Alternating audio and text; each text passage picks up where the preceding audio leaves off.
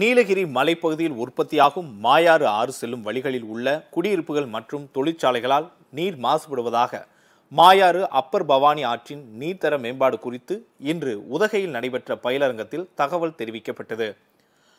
பயிலரங்கத்தை தொடங்கி வைத்த மாவட்ட ஆட்சித்தலைவர் பி. சங்கர் பவானி ஆற்றில் கலக்கும் மாயாறு ஆற்றில் கழிவுகள் சேர்வதை தடுக்க மாசு கட்டுப்பாட்டுத்துறை அதிகாரிகள் நடவடிக்கை எடுக்க வேண்டும் என்றார். தொழிற்சாலைகளிலிருந்து வெளிப்படும் கழிவுநீர் மறுசுழற்சி செய்து பயன்படுத்துவதன் மூலம் ஆற்றின் தண்ணீர் மாசுபடுவதை தவிர்க்க முடியும் என்றும் இதை கண்காணிக்க மாசு கட்டுப்பாட்டுத்துறை அதிகாரிகள் இரவு நேரங்களில் திடீர் ஆய்வு நடத்த வேண்டும் என்றும் கலெக்டர் கூறினார்.